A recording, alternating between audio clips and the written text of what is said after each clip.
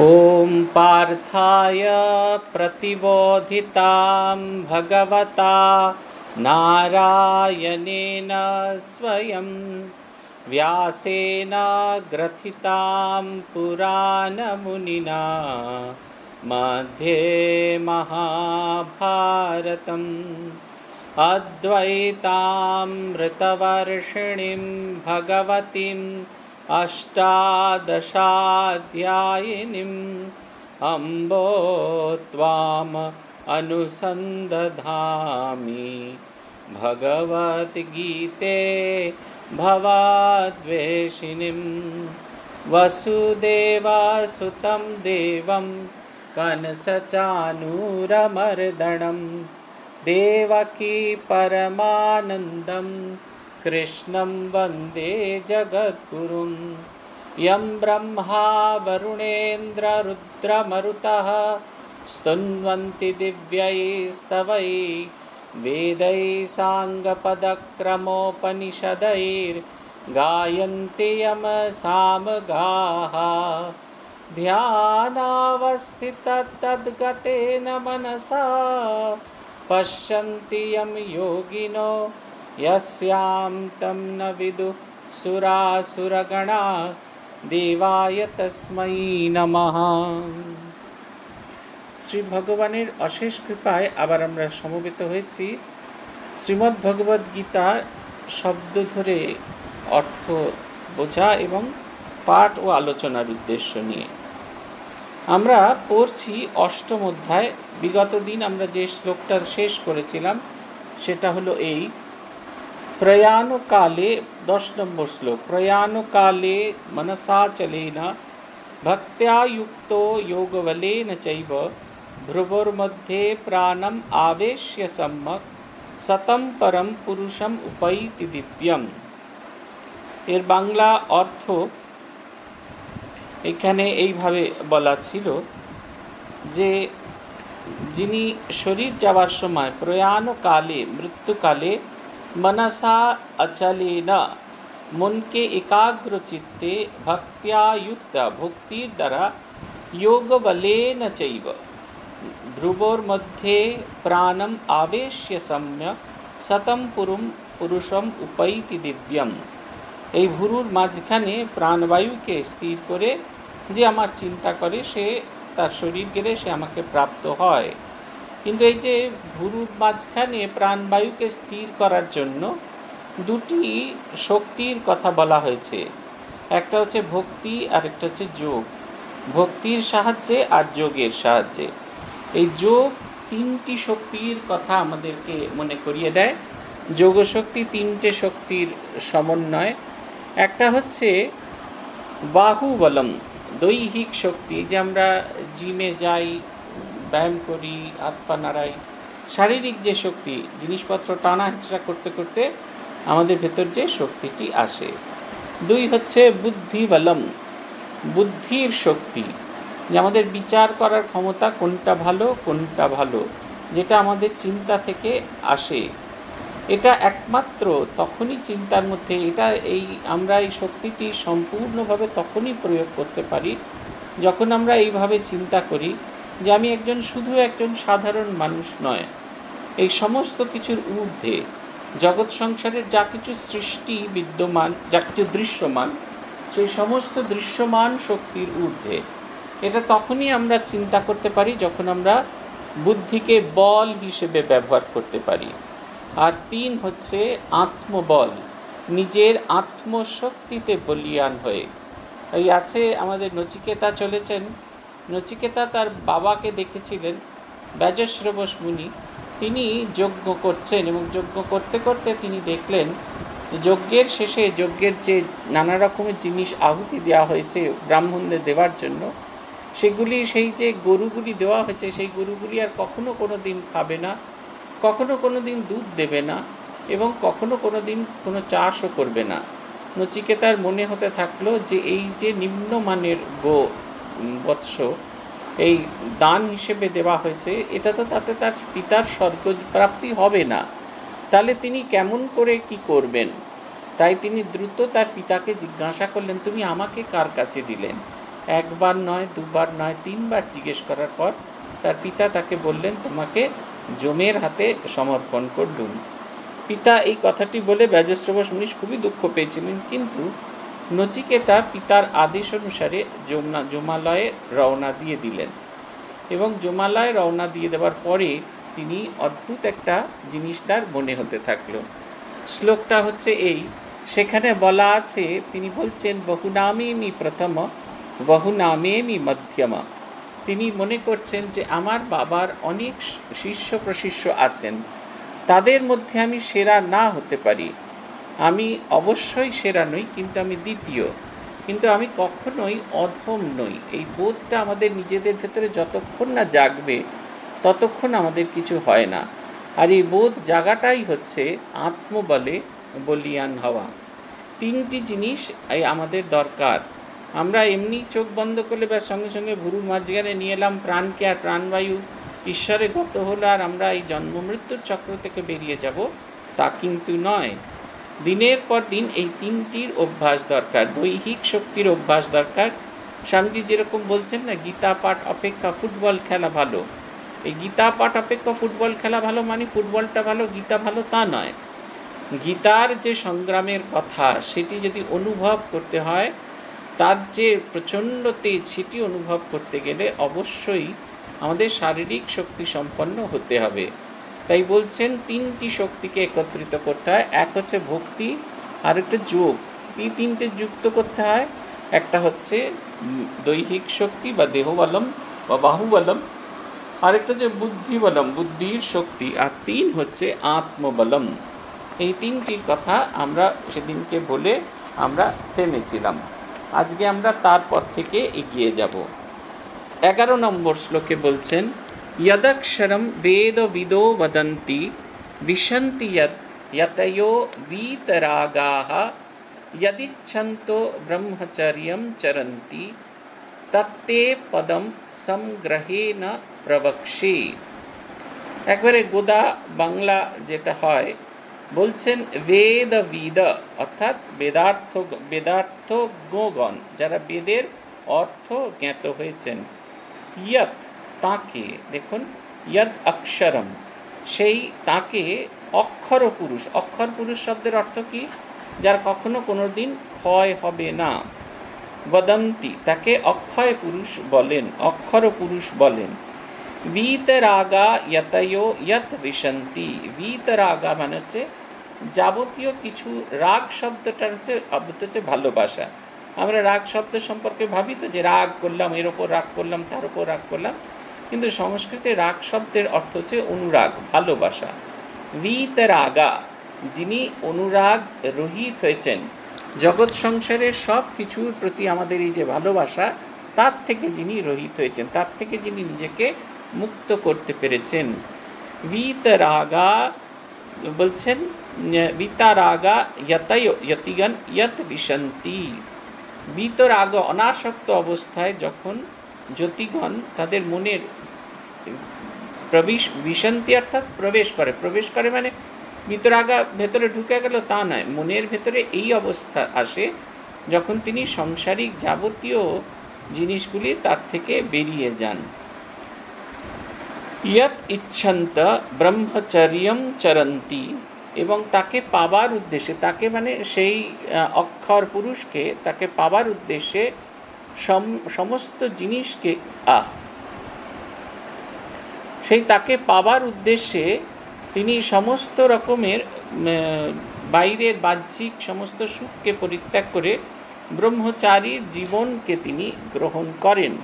এটা হচ্ছে কথা। এই বোধটা যখন তার ভেতরে জাগে, ব্রহ্মচর্যম চরন্তি তৎপদম তে সংগ্রহীন প্রবক্ষে। সেই পরম পদ সম্পর্কে তোমাকে সংগ্রহীন মানে অল্প কথায় সংক্ষেপে বলছি। কেন অল্প কথায় বলছি? না দীর্ঘ কি করে হচ্ছে আমি শোনা যাচ্ছে? হ্যাঁ। দীর্ঘ সময় ধরে এইটা বলছেন তিনি। বলছেন এবার ভগবান বলছেন আমি তোমাকে সর্বোচ্চ আদর্শের কথা বলব সর্বোচ্চ অবস্থার কথা বলব। কি সর্বোচ্চ অবস্থা? না, অবস্থাটা কি? গীতার এই শ্লোকেই বলছেন যদক্ষরম বেদ বিদো বদন্তি। একটি শব্দ যা আমাদের বেদজ্ঞরা উচ্চারণ করে থাকেন যেটাই এখানে কিছুতেই বলা হচ্ছিল না। কিন্তু এর অন্তর্নিহিত অর্থটি হচ্ছে এই, ওঙ্কার, ওং প্রণব সম্পর্কে তিনি এবার বলবেন বিশান্তি ইয়াত বিতয়ো ইয়াত, ইয়তয়ো বিতরাগা। যারা রাগ বা অনুরাগ বা আসক্তিকে জয় করেন, যারা এই অবস্থা জয় করেছেন। অনুরূপভাবে যদিচ্ছন্ত ব্রহ্মচর্যম চরন্তি তাকে জানার জন্য গুরুকুলে গুরুর তত্ত্বাবধানে ব্রহ্মচারী হয়ে থাকে। তাদের লক্ষ্য কি? খুব ভালো করে যদি আমরা লক্ষ্য করি, তাহলে তাদের লক্ষ্যটি আমাদের কাছে খুব পরিষ্কার হয়। তাদের লক্ষ্য হচ্ছে এই মহান ব্রহ্মচর্যের এসে সেই তৎপদম সংগ্রহীনা প্রবক্ষী সেই পরম পদকে লাভ করা এটা হচ্ছে তাদের লক্ষ্য আমাদের এই যে, আমরা মনে করি যে, শুধুমাত্র যারা সাধু হতে এসেছে, যারা সংসার ত্যাগ করে এসেছে, তা নয় কিন্তু।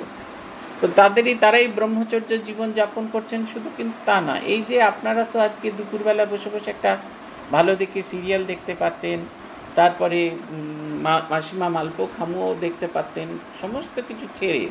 সেই যে আসক্তিটিকে ত্যাগ করে আপনারা এসেছেন।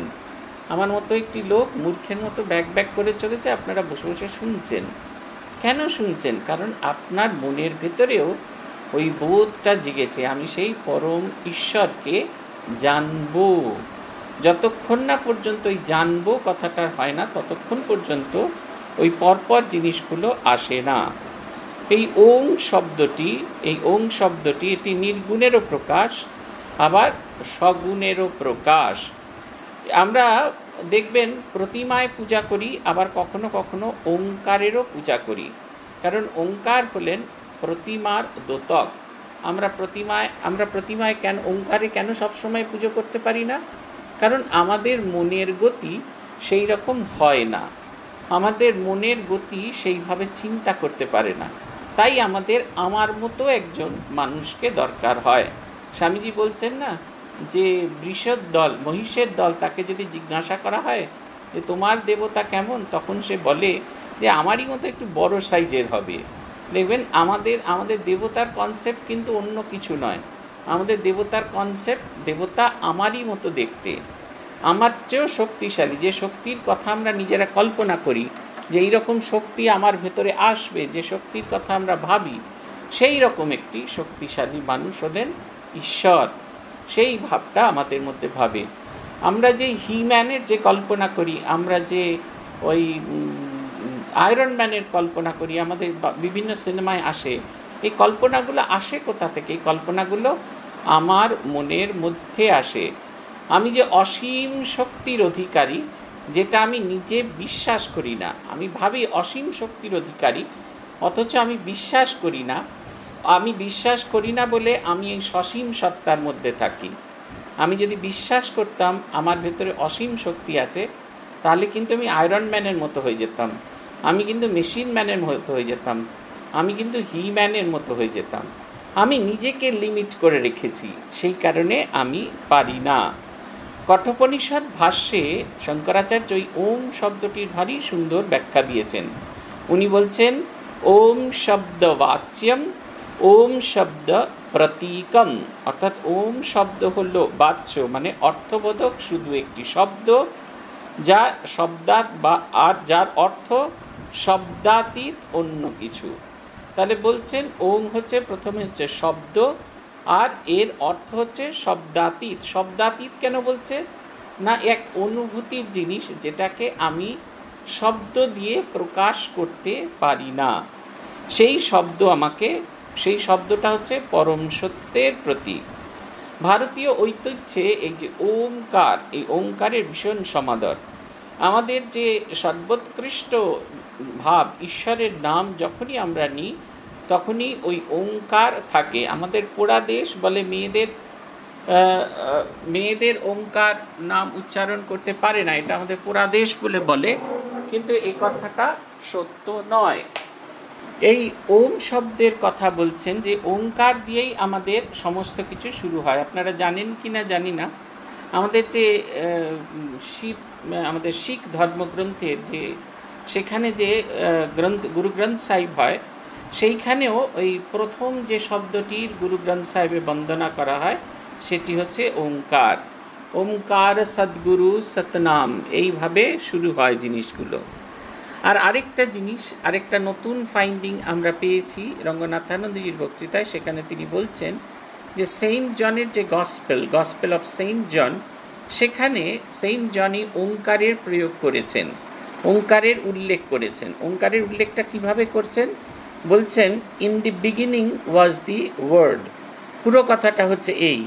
In the beginning was the word and the word was with God the the word was God and the word became flesh এই কথাটা সেন্ট পলের যে, আমাদের যে গসপেল আছে, সেইখানে এই কথাটা বলা আছে। In the beginning was word শুরুতে শুধুমাত্র একটি অক্ষর স্বরূপ ছিলেন। তারপরে তিনি করলেন, সৃষ্টির প্রারম্ভে তিনি ছিলেন একটি শব্দ। শব্দ কি হলো? The word was with God শব্দ তখন ঈশ্বরের রূপে রূপান্তরিত হলো। শব্দকে প্রথমে আমরা ঈশ্বরের প্রকাশ বলে মনে করতুম। এবং তারপরে কি হলো? The word was with God and the word became flesh প্রথমে শব্দকে ঈশ্বরের সাকার রূপ বলে গ্রহণ করতুম। ধীরে ধীরে আমরা ঈশ্বরের বাহ্যিক রূপ বলে গ্রহণ করছি। আপনারা অনেকেই জানেন না, আমরা যখন প্রতীক উপাসনা করতাম, তখন শিবলিঙ্গের উপাসনা করতাম। শিবলিঙ্গ হলো ব্রহ্মের প্রতীক, আর তার মাঝখানে যে গৌরীপট্টটা লাগানো থাকে, ওটি হচ্ছে শক্তির প্রতীক। ওটির সর্ববৃহৎ ফর্ম যেটা আমরা এখন দেখে থাকি, সেটা হচ্ছে আমাদের, আমরা দিন দিন মোটা মাথার মানুষ হয়ে যাচ্ছি তো, তাই সূক্ষ্ম জিনিস আমরা চিন্তা করতে পারি না।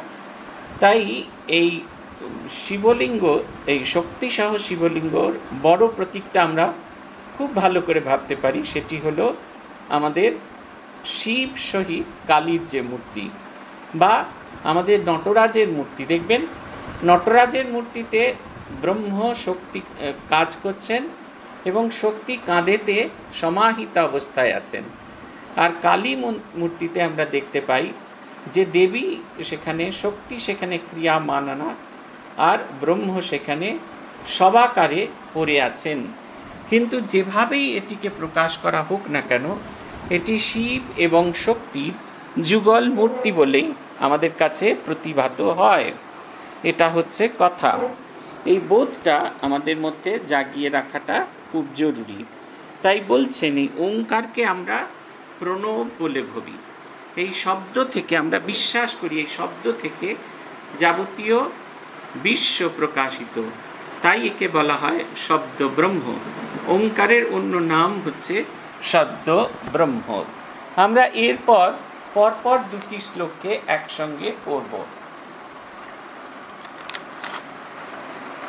বলছেন সর্বদ্বারানি সংযম্য মনোহৃদি নিরুদ্ধ मूर्ध्याय मूर्धाध्यायात्मन प्राणम आस्थितो योगधारणम ओमिते काक्षरम ब्रह्म व्याहरण मामनुस्मर यह प्रयाति तजन देहम सयाति परमाम गति ही परमाम गतिम তাহলে বলছেন সর্বদ্বারানি সংযম্য সমস্ত ইন্দ্রিয়ের দ্বারগুলিকে সংযত করে এটা হচ্ছে প্রথম কথা সর্ব ইন্দ্রিয়ের দ্বারগুলিকে সংযত করে। তারপরে বলছেন মনোহৃদি নিরুদ্ধ মনকে হৃদয়ে নিবিদ্ধ, নিবদ্ধ করে। প্রাণম আস্থিত, প্রাণবায়ুকে, প্রাণকে, মস্তিষ্কে আকর্ষণ করে। মূর্ধ্যায় ধায়াত্মনম যোগ ধারণম যোগাভ্যাস রত হয়ে। অমিতে কাক্ষরম ব্রহ্ম সেই একাক্ষর শব্দ ব্রহ্ম ওম উচ্চারণ, ও মাম ব্যাহরণ, মাম অনুস্মরণ মাম অনুস্মরণ মানে আমাকে চিন্তা করতে করতে, ইয়াহ প্রয়াতি ত্যাজন দেহম, সয়াতি পরমাম গতি। সে আমাকে স্মরণ করতে করতে যা দেহত্যাগ হয়, তিনি চরম লক্ষ্যে পৌঁছে যান, অর্থাৎ মোক্ষ লাভ করেন। খুব খটোমটো জিনিস, জানেন তো? মারা যাওয়াটাও যে খুব সহজ কথা তা কিন্তু নয়। মারা যাওয়াটা খুব সহজ কথা। পট করে পড়ব, ব্যাস, হয়ে গেল। হরিওম রামকৃষ্ণ হয়ে গেল। কিন্তু ওভাবে মরলে কিন্তু মুক্তি হবে না। মুক্তির কত রকমের ব্যবস্থা করে দিচ্ছেন। অতএব বেঁচে থাকাটাও যেমন কষ্ট, যদি সত্যি সত্যি দেহান্তরে আমি মুক্তি চাই, তাহলে সেটাও কিন্তু খুব সহজবদ্ধ বিষয় নয়। প্রথম বলছেন, সর্বদ্বারাণী সংযম্য মনোহৃদি নিরুদ্ধ চ। কীভাবে ঈশ্বরকে ধ্যান করা যায়? আর তার উপলব্ধি আমরা কেমন করে করব? দ্বারানি দ্বারানি দ্বারানি কেন বলছেন? এগুলো হচ্ছে দ্বার। এই চোখ বাইরের পৃথিবীকে দেখছে, কান বাইরের পৃথিবীর কথা শুনছে, নাক বাইরের পৃথিবীর গন্ধ নিচ্ছে, মুখ পৃথিবীর স্বাদ নিচ্ছে, আর আর সমস্ত। আপনি আমাকে এমনি করে স্পর্শ করলেন।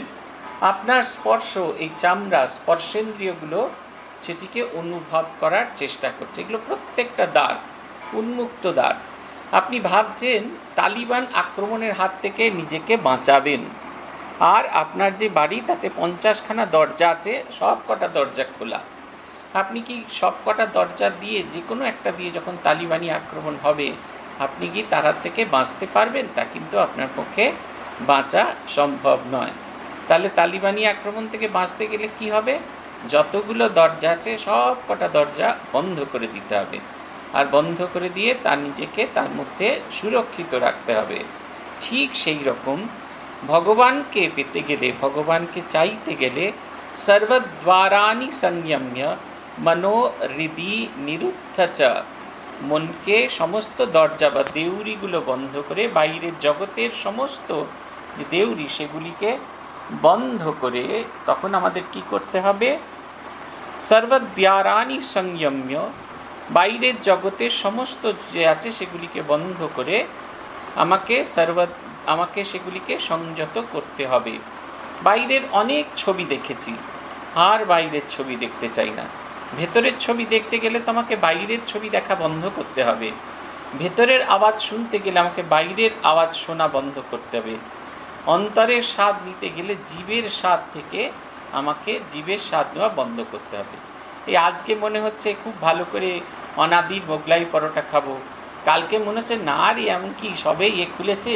যাই গিয়ে পাঁচটা ফিশ ফিঙ্গার চুপচাপ একটা এর মধ্যে ওই সর্ষে বাটার সাথে ঘষে খেয়ে আসি। কিংবা গাঙ্গুরামি গিয়ে একটা বড় দেখেই পাশোপাশ তাকে জল ভরা তালশ্বাস মেরে দিই। বাইরের যদি এই পৃথিবীটার আমি যত আমার মনকে ছড়িয়ে রাখব, তত এটা ওই চিন্তার জগৎটা আমাকে পলিউট করে যাবে। এই চিন্তার জগৎটা আমার মনের মধ্যে সব সময় আসক্তি এনে দেবে। এটা কিন্তু আমরা খুব ভালো করে বুঝি যারা আমরা ডায়াবেটিক পেশেন্ট আমাদের যত মিষ্টি খেতে বারণ করা হয়, আমরা যখন ডায়াবেটিক ছিলাম না, তখন কিন্তু মিষ্টির প্রতি একটা আকর্ষণ ছিল না। কিন্তু যত মিষ্টি খেতে বারণ করা হয়, তত যেন মিষ্টির প্রতি আমাদের আকর্ষণ বাড়ে। তাই বলছেন যে যদি ঈশ্বরকে চাইতে হয়, তাহলে এই যে আমার ছড়িয়ে ছিটিয়ে থাকা মন, এটাকে একত্রিত করতে হবে। এবং এই একত্রিত করবার উদ্দেশ্যটা হচ্ছে, প্রত্যেকটি দরজায় একটি করে অর্গল দিতে হবে। মনোহৃদি নিরুদ্ধচা এই মনকে হৃদয়ে নিরুদ্ধ করতে হবে। এই শুধুমাত্র দরজাগুলোকে বন্ধ করলেই হবে না, আপনার দরজাগুলো কোথায় থাকে? বাড়ির চতুর্দিকে থাকে। আর আপনার বেডরুমটা কি বাড়ির চতুর্দিকে? তা নয়, কিন্তু আপনার বেডরুমটা বাড়ির মাঝখানে। ঠিক সেই রকম সমস্ত দরজাগুলো বন্ধ করে এই যে হৃদয়, যেখানে ঈশ্বরকে আমরা চিন্তা করি, সব মনটা গুটিয়ে এনে তার ওখানে চিন্তা করা। কেন গুটিয়ে এনে চিন্তা করা? না, সর্বশক্তি দিয়ে চিন্তা করা। সর্বশক্তিমানকে চিন্তা করতে গেলে আমাদের সর্বশক্তি প্রয়োগ করা দরকার। সামান্যতম এতটুকু যদি কম শক্তি আমরা প্রয়োগ করি তাহলে কিন্তু সেই সর্বশক্তিমানকে চিন্তা করা সম্ভব নয়। আমরা কিছুতেই তাকে চিন্তা করতে পারব না। মনোহৃদি নিরুদ্ধ চাই মনকে, আমার হৃদপদ্মে স্থির করতে হবে। ওই স্থির করার জন্য আমাকে ওই যোগাভ্যাস করতে হবে। তিনটে আমরা শক্তির কথা বলেছিলাম, বাহুবল আর বুদ্ধিবল আর আত্মবল। বাহুবল মানে আমার মনকে টেনে নিয়ে আসা। প্রত্যেকবার সে ছিটকে যাবে। তাকে বলা হয় বিক্ষেপ। আবার তাকে টেনে নিয়ে আসা। বাহুবল অর্থাৎ মনের বাহু, মনের যে শক্তি। আপনার মন যদি যথেষ্ট শক্তিশালী না হয়, আপনার মন ছিটকে ছিটকে যাবে। আবার সেই মনেরই একটা শক্তি থাকবে যে তাকে টেনে নিয়ে আসবে। দেখবেন ছোট শিশু সে সবসময় ছিটকে যেতে চায়। মা তাকে টেনে নিয়ে এসে পড়াতে বসান। একটা সময় সেই বাচ্চাটি বুঝে যায় যে না, এইভাবে ঘুরে বেড়ালে হয় না। তখন তাকে পড়াতে হয় A for apple B for ball C for cat তখন সে বুঝতে থাকে। আর যত সে চিন্তা করতে থাকে, তখন সে এ বি সি ডি এই শব্দগুলো জুড়ে জুড়ে এই সি এটি ক্যাট বি এটি ব্যাট এরকমভাবে তৈরি করে। আমাদের মনও তাই, আমরা ঈশ্বর চিন্তা করতে চাই, ঠিক সেই সময় চলে যায়। পাশের বাড়িতে কি একটা গসিপ শুনেছিলাম? সেই গসিপের কথা মনে পড়ে। এর মধ্যে কোনো ভুল কিছু নেই। সবার হয়। যে ভগবানকে চিন্তা করতে যাবে, যে উচ্চ চিন্তা করতে যাবে, তার মনের মধ্যেও এটা হবে। কিন্তু মনেরই একটা অংশের সেই শক্তি অর্জন করা দরকার, সে তাকে টেনে নিয়ে আসতে পারবে। তারপর তাকে ওই বুদ্ধিবল দিতে হয় যে, আমি এই যে ঈশ্বরকে চিন্তা করছি, এইভাবে যদি চিন্তা করতে পারি, এটা আমার মুক্তির পথকে অগ্রসর করে। তখন আমার মনে হয় যে, আমি কি পারব? আমার দ্বারা কি সম্ভব? তখন ওই আত্মবলকে ব্যবহার করতে হয়। হ্যাঁ আমার দ্বারাই সম্ভব। যুগে যুগে ঋষিরা পেরেছেন, যুগে যুগে সাধকরা পেরেছেন। আমি যার কাছে মন্ত্র দীক্ষা পেয়েছি, তিনি পেয়েছেন। আমি তার সন্তান, আমিও পারব। তখন ওই যখন ওই চতুর্দিকের দরজাগুলো বন্ধ হয়, আমরা তখন আস্তে আস্তে ভয়ের চোটে এক জায়গায় এসে পৌঁছেছি। আমাদের আমফান যখন হলো, ভীষণ রকমের ঝড় জল চলছে। আমরা ধীরে ধীরে আর বাইরে দাঁড়িয়ে থাকতে পারছিলাম না। বারান্দা থেকে ধীরে ধীরে ঘরের ভেতরে প্রবেশ করলুম। এমনভাবে ঘরের ভেতরে প্রবেশ করুন যেখান থেকে গোটা আশ্রমটাকে আমরা দেখতে পাই, অথচ ঝড়ের কারণে আমরা যেন উল্টে পাল্টে পড়ে না যাই। ঠিক সেই রকম মনের সমস্ত দরজা বন্ধ করে মনের ভেতরে ঈশ্বর চিন্তায় আমাদের আসতে হবে। মধ্য ধায় আত্মন প্রাণম প্রাণকে দুটি ভুরুর মধ্যে, অর্থাৎ আজ্ঞা চক্রে কেন্দ্রীভূত করতে হবে। একটি জায়গা যেখানে আমি আমার ইষ্ট চিন্তাকে বা আমার দেবতার চিন্তাকে কেন্দ্রীভূত করব। আর আস্থিত যোগ ধারণম। এই অবস্থাতেই আমি যেন যোগে স্থিত হয়েছি। যোগে স্থিত হওয়া মানে আমি ঈশ্বরের সঙ্গে একীভূত হয়ে যাচ্ছি। এই দেখুন কি সুন্দর কথা। যে এই যে এই যে যাওয়াটা অত সহজ নয়।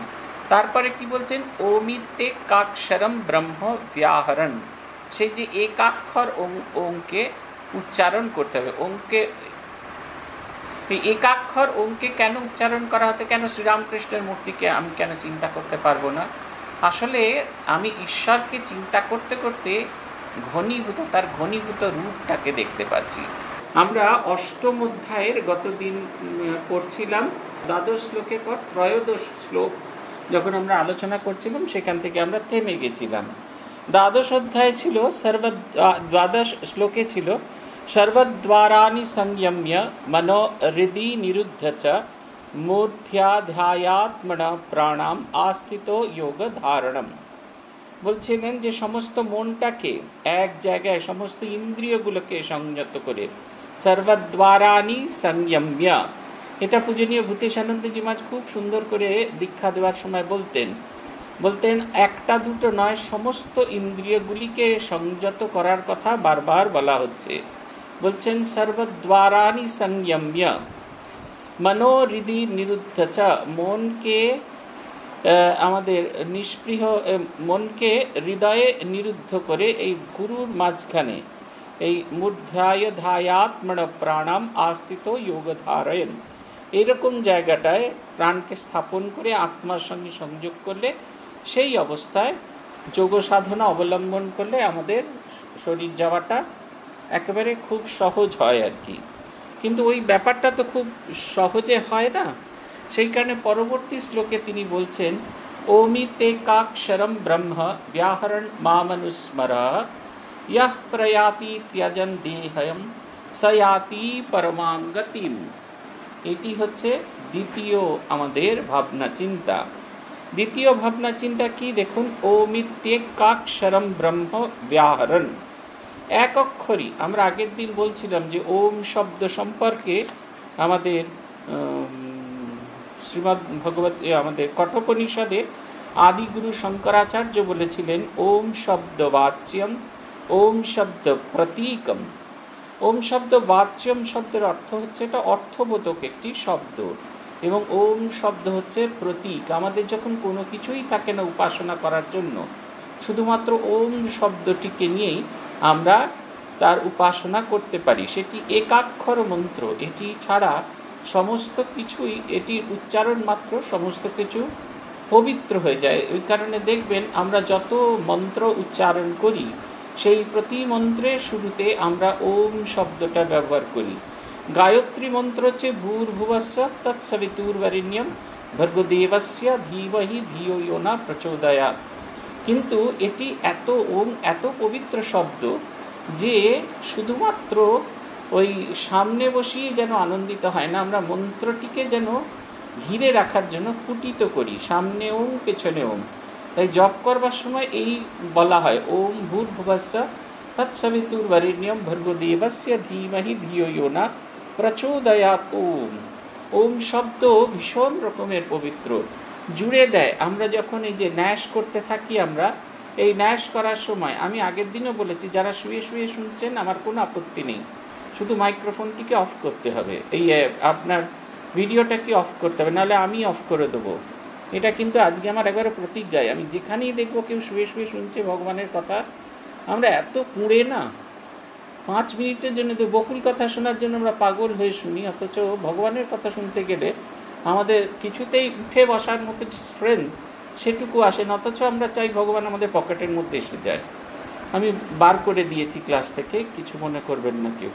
এটি আমি এই এই জিনিসটিকে আমি কিছুতেই মানে হজম করতে পারি না আর কি। এই বলছেন ওমিতে কাক্ষরম ব্রহ্ম ব্যাহরণ।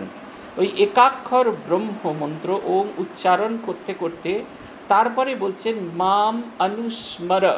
মানে আমাতে মাম অনুস্মর যদি হয়, তাহলে আমাকে চিন্তা করো। অনুস্মর শব্দের অর্থ হচ্ছে মগ্ন হয়ে চিন্তা করা। মানে আমার আর দ্বিতীয় কোনো সত্তা থাকবে না। আমার আর কোনো দ্বিতীয় কোনো ভাবনা থাকবে না। আমার আর কোনো দ্বিতীয় কোনো চিন্তা থাকবে না। আমি শুধু সেই ভাবনা, সেই চিন্তার মধ্যে ডুবে যাব। অনুস্মর শব্দটা খুব সহজ, বলা খুব সহজ, কিন্তু এটা আচরণ করে দেখাটা ভীষণ কঠিন। তাই বলছেন যে, মাম অনুস্মর। এরপরে বলছেন, ইয়াহ প্রয়াতি ত্যজন দেহম। এইভাবে ইয়া প্রয়াতি ত্যজন দেহন। দেহ ত্যাগ করে প্রয়াত হন, প্রয়াণ হয়ে যায় ভেবে দেখুন দুটো জিনিস যে ওম এবং আমার নামকে চিন্তা, শুধু আমার নাম না, আমার রূপকে চিন্তা করছে। মানে সমুদ্রের ভেতরে নুনের পুতুল ডুবে যাচ্ছে বোধটা। আমি তার ভেতরে ডুবে যাচ্ছি, তিনি ছাড়া আমার আর দ্বিতীয় সত্তা নেই। এই অবস্থায় যখন আমি অনন্তের সঙ্গে লীন হয়ে যাই, সেই অবস্থায় বলছেন ইয়াতি পরমাম গতিম তখন তার পরম গতি লাভ হয়। এটা কিন্তু বাস্তবে সহজসাধ্য নয়। একবারে দীর্ঘ সাধন ভজনের প্রয়োজন হয়, দীর্ঘ সময়ের প্রয়োজন হয়। আমাদের চোখে দেখা, আমরা তো গল্প শুনেছি অনেকের, চোখে দেখা একটি মৃত্যু আমরা এরকম দেখেছি। পূজনীয় স্বামী হিরণময়ানন্দজি মহারাজের খুব অসুস্থতা, কোলনে, খুব সম্ভবত না কোলনে ক্যান্সার হয়েছিল। সেদিন ওনার খুব শরীর খারাপ।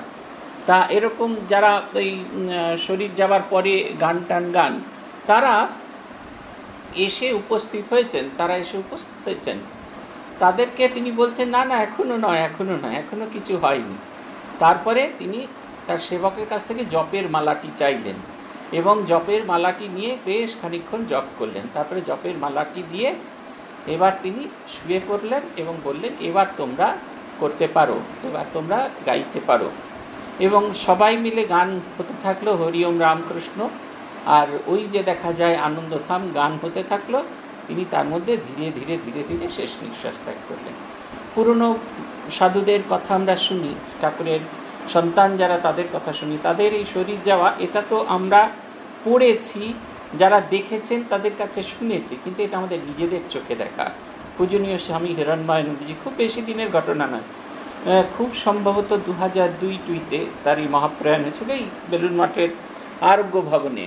পূজনীয় স্বামী অখণ্ডানন্দজি এই স্বামী শিবানন্দজি মহারাজের শিষ্য ছিলেন এবং তার ব্রহ্মচর্য এবং সন্ন্যাস দীক্ষা দুটোই হয় পূজনীয় স্বামী বিরজানন্দজি মহারাজ কাছে।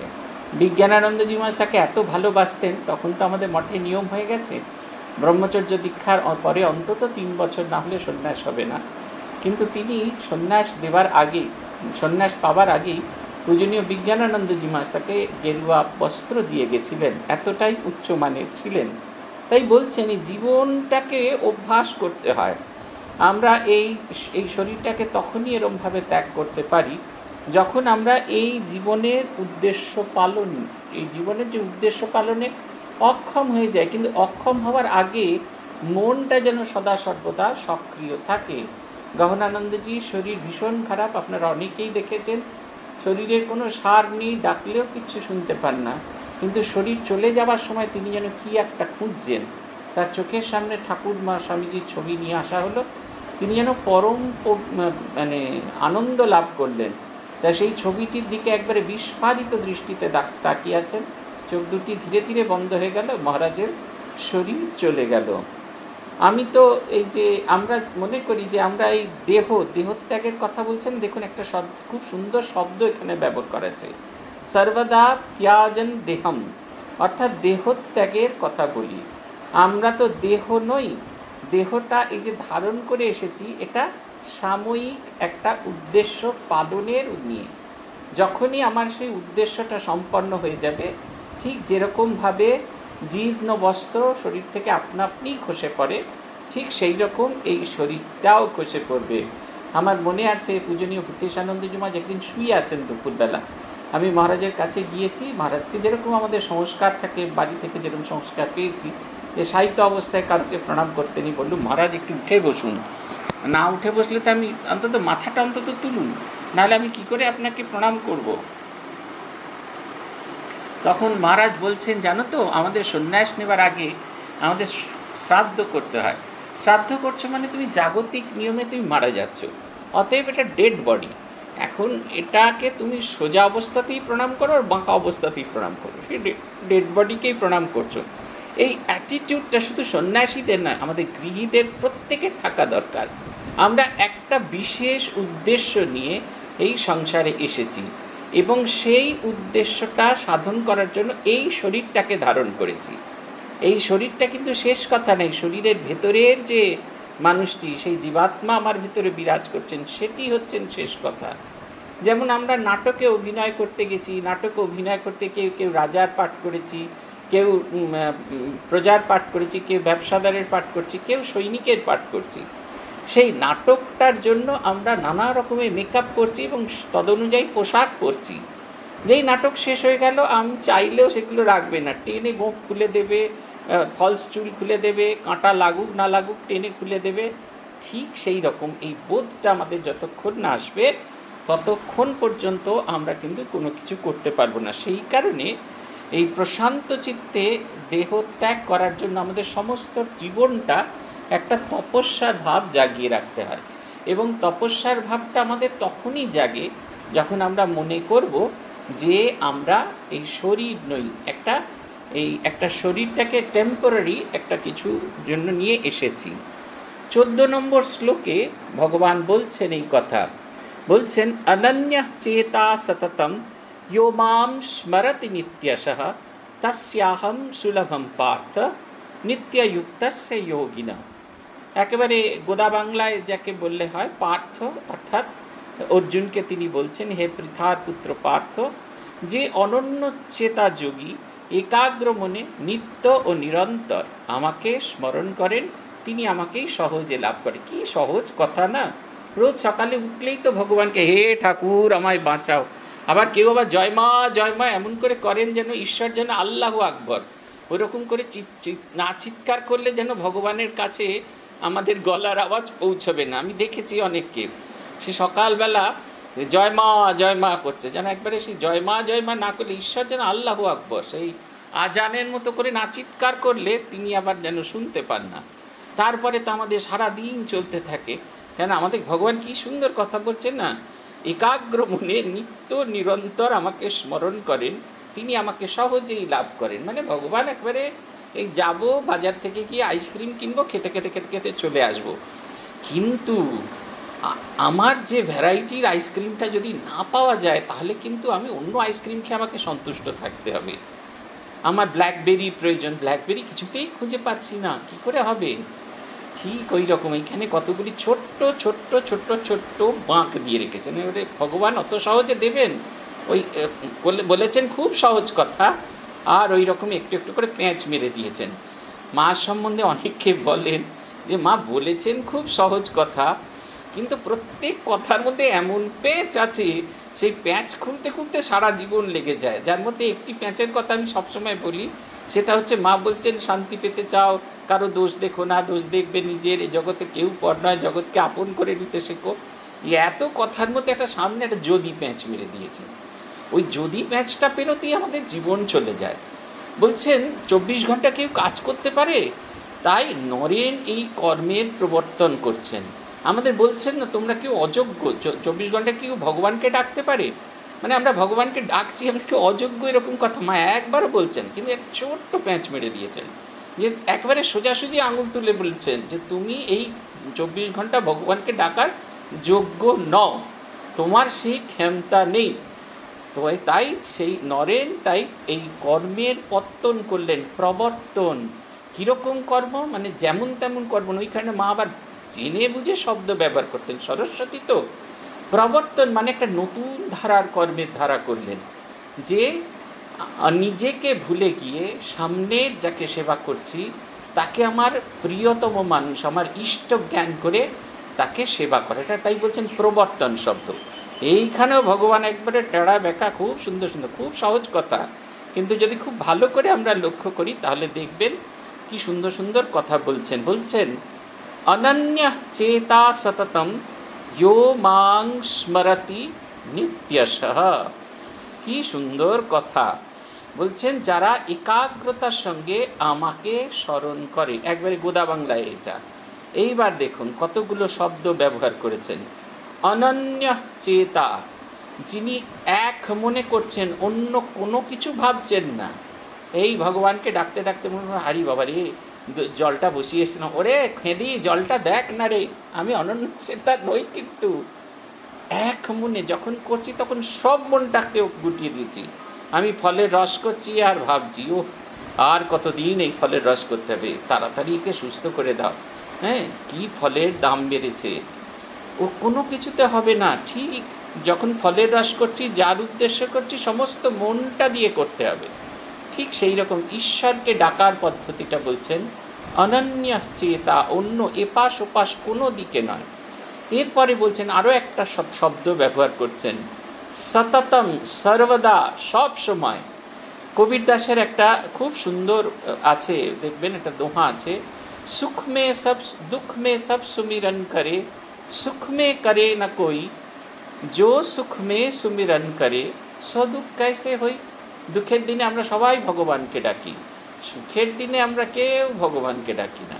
সুখের দিনে যদি আমরা ভগবানকে ডাকতাম, তাহলে দুঃখের দিনে হব, দুঃখ আসতো কি করে? দেখুন, এই কথাটাকে আরও সহজ করে সুশ্রীমা বলছেন। বলেছেন যে সদা ইষ্ট চিন্তা করে, তার অনিষ্ট কোথা থেকে আসবে? দেখুন, একই কথা আরও সহজ করে বলছেন। সে আগে ছিল না কুইনিন খেতে হতো ট্যাবলেট সেটা খুব তিতো, একদিন খেলে পাঁচ দিন মুখ নষ্ট হয়ে যেত। ওই কারণে এই একই জিনিসকে ডিস্টিল ওয়াটার আর অন্য জিনিস দিয়ে মিক্সচার তৈরি করা হলো। আর তাতে ছটা দাগ কেটে দেওয়া হলো। বলে সকালবেলা এক দাগ খাবে, দুপুরে এক দাগ খাবে, তিন দাগ খাবে। তিন দাগ খেলে একটা কুইনিনের ওষুধ খাওয়া হয়ে গেল। একটা ওষুধ খেলে যে কষ্ট ছিল, সেটা সারা দিনের মধ্যে ভাগ করে দেওয়া হলো। ঠিক ওই রকম। বলছে যে সদা ইষ্ট চিন্তা মাইটা আরও ওই যে কুইনিন মিক্সচারের মতো, যে সদা ইষ্ট চিন্তা করে। তার অনিষ্ট হবে কি করে? সদা সর্বদা যদি আমরা ভগবানকে নিয়েই থাকতে পারি, তাহলে ভগবানের মধ্যেই তো মেতে আছি। আমার মন তো এপাশ ওপাশ কোথাও যাবে না, তাই দুঃখ আমাকে স্পর্শ করবে না। একটি ভক্ত সম্মেলনে জিজ্ঞেস করা হয়েছিল, পূজনীয় গোপেশ আনন্দজি ভারী সুন্দরের উত্তর দিয়েছিলেন। ভক্ত সম্মেলনে জিজ্ঞাসা করা হয়েছিল এই যে আমরা ভগবানের নাম জপ করি, তাও আমাদের জীবনে দুঃখ আছে। ভগবানের নাম করেও যদি দুঃখ হয়, তাহলে ভগবানের নাম জপ করব কেন? ভারী সুন্দর উত্তর দিয়েছিলেন। বলছেন আমাদের এই জপ ধ্যান আমাদের দুঃখকে সহ্য করার মতো ক্ষমতা দেয়। এই যে ভগবানের নাম করি আমরা, দুঃখকে সহ্য করার মতো ক্ষমতা দেয়। উনি উদাহরণ দিয়েছিলেন মায়ের কথায়। বলেছিলেন, যেখানে ফাল ঢোকার কথা ছিল, সেখানে চুঁচ ঢোকে। ফাল যেখানে ঢোকার কথা সেখানে ফালই ঢোকে, সেখানে অন্য কিছু ঢোকে না। কিন্তু ঈশ্বরকে চিন্তা করলে আমার মনের এমন একটা উন্নতি হয়, ওই ফালের যন্ত্রণাটা আমার সামান্য বলে বোধ হয়।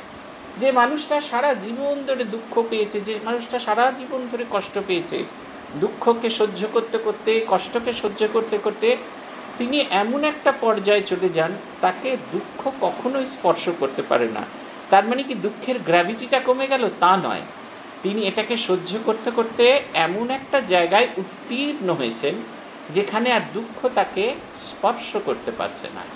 ঠিক সেই রকম ইষ্ট চিন্তা করতে করতে, ইষ্ট চিন্তা করতে করতে আমাদের মনের এমন মানোন্নয়ন হয় যে আমাদের কখনো ওই কোনো কষ্টই সহ্য করতে হয় যে পৃথিবীর মায়া আমাকে ত্যাগ করে চলে যেতে হবে, আমার প্রিয়জনদের ত্যাগ করে চলে যেতে হবে আমার কত কাজ বাকি ছিল সেগুলো করা হলো না। এই যে দুঃখ, যে কারণে আমরা কষ্ট পাই, পৃথিবী থেকে যখন ছেড়ে যেতে হয়, কষ্ট পাই, এই কষ্টটাকে সে তিনি অতিক্রম করে যান। তিনি এক এমন আনন্দের সন্ধান পান, যখন তিনি মনে করেন মৃত্যু আসছে, তিনি অনুভব করেন, সেই অনন্ত আনন্দের সঙ্গে তিনি একীভূত হয়ে, সেই অনন্ত আনন্দের অংশ হয়ে যাবেন। তাই তার কখনো কোনো দুঃখ হয় না। এই কারণে ভগবানই বলছি না প্রতি কথা একটা করে পেঁচ আছে। এই সততম শব্দটা ব্যবহার করছেন। বলছেন, শুধু অনন্যচেতা হলে হবে না, সততম। ইয়োমাম স্মরতি আবার আরেকটি প্যাঁচ দিয়েছেন, নিত্য। কোনো অবস্থাতে আমি আজ করলুম, কাল করলুম না না, আজকে থাক। আজকে ওই একটা নতুন গানের serial, Indian Idol season seven হচ্ছে। খুব ভালো ভালো বাচ্চারা নাচছে। ওটা দেখে তারপর ভগবানকে ডাকবো। ওইটি হবে না। নিত্যাসা একটা রেগুলারিটি মেনটেন করতে হয়। তখন পরের লাইনটা সহজ।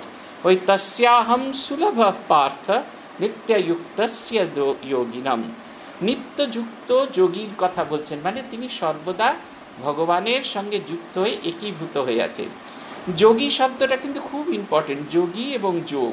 আমাদের মহারাজরা বলতেন, দেখ এই চারটির সাথে যোগ শব্দটাকে যুক্ত করে দিয়েছে। এই চারটি শব্দের সাথে যোগ যদি না করা হতো, তাহলে এই শব্দগুলো ইউজলেস হতো।